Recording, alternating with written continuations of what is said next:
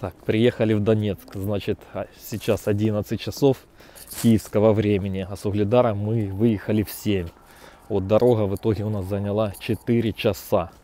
4 часа и это потратили 45 гривен и 150 рублей на человека. Значит, в основном ехали, конечно, туда пенсионеры, люди пожилого возраста. И знаете, каждая такая остановочка, там собрали документы, ждем минут 5-10. Каждый дает свой совет, как ускорить этот процесс. Причем не важно, что водитель маршрутки каждый день, последние лет пять ездит, они ездят туда в лучшем случае раз в два месяца, раз в полгода. Но они знают лучше, как быстрее все это пройти. Да. В общем, что я хочу вам сказать. Если будете ехать, то что вам говорит водитель, то и делайте. Сказал, собрали паспорта, сдали и заткнулись, и не вякайте. И тогда все это реально будет быстро.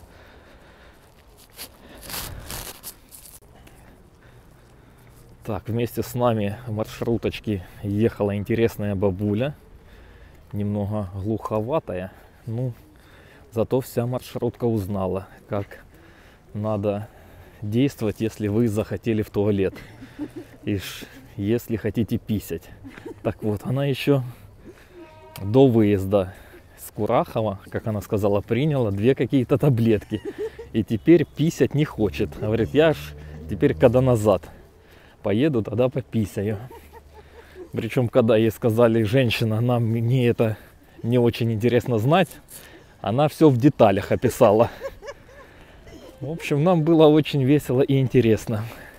Если вы знаете какие-то таблеточки, пишите в описании. Я думал, есть мочегонные какие-то, а у нее наоборот, укрепляющие. Ну, в общем, было нам интересно. Вот интересная витринка такая магазина Стрекоза.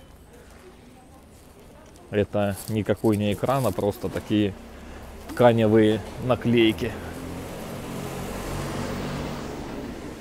А вот и гостиница Великобритания. В этом году я в Великобритании не был и, наверное, уже не попаду.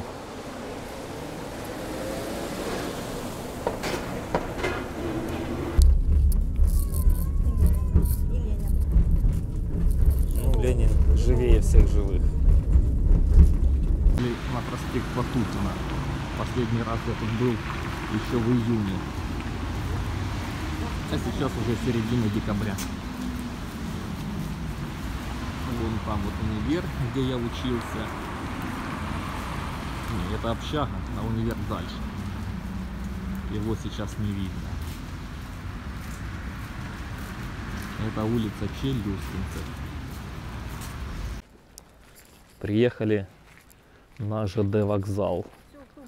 Вот виден только новый терминал, а основное здание в тумане не видно. Зато посмотрите, какая парковочка. Вот да, я помню, она только-только открылась. Вот это был, была вторая парковка, и там первая. И в эксплуатацию так и не введена. Вон даже бетонные блоки уже полностью развалились.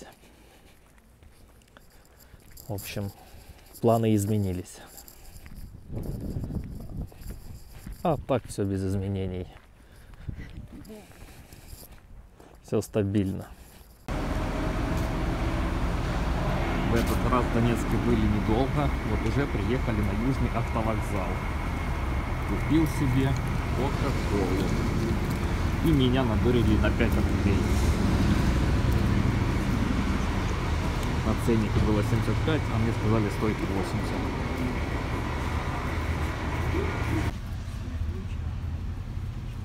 Сели в автобус. Вот, сел на самом козырном месте, на служебном. Пол восьмого утра. Людей уже полно, все на блокпосты едут. Вот, целый парк тут сделали. В общем, стоим на таможне уже 4 часа. захотелось кушать. Иду за чебуреками. Вот, лавочки тут. И урны.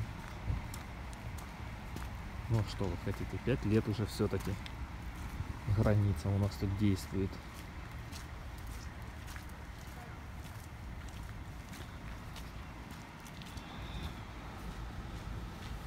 Вот, организовано питание возле блокпоста.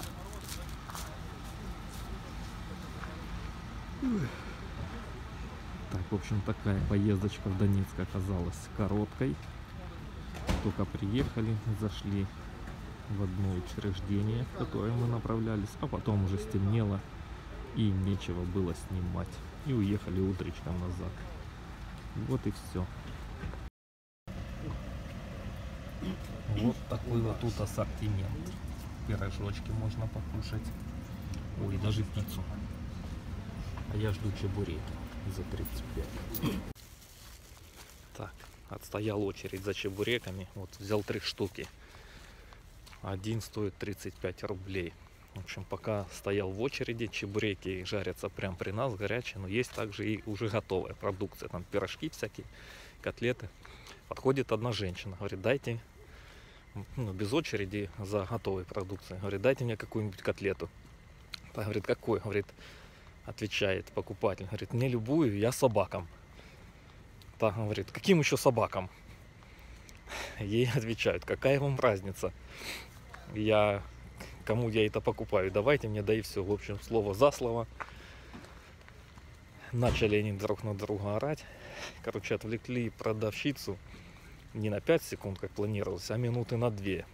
В итоге обе шли психованные. Вот такие вот есть любители собак. Ну, естественно, рядом с чебуречной, как вы поняли, бегает небольшая стайка бродячих собак. Вот такая вот история пол второго дня только приехал в Угледар. При том, что выехал с южного автовокзала в пол восьмого утра. Ну и того дорога заняла сумме где-то 6 часов. Причем раньше дорога от Угледара до Донецка занимала минут 40-50, а сейчас 6 часов. Ну и получается в сумме 5 часов простоял на ДНРовском и украинском блокпосту. Вот так вот. Вот так мы сейчас ездим из Украины в Донецк.